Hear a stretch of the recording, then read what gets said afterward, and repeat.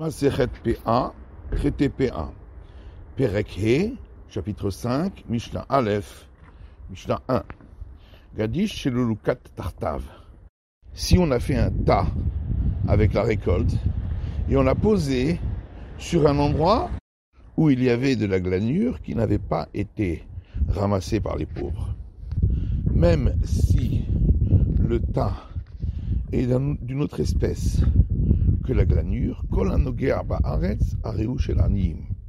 les sages ont sanctionné le propriétaire et tout ce qui touche le sol appartiendra aux pauvres.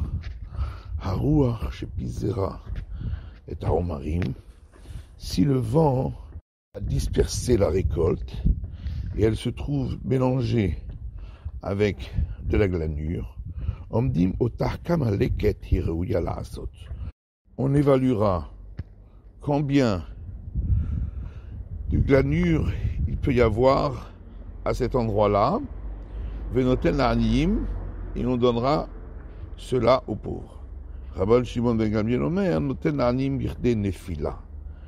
Shimon ben dit, on donnera aux pauvres une mesure qui a été déjà fixée par nos sages, qui est un quarante-cinquième de la récolte.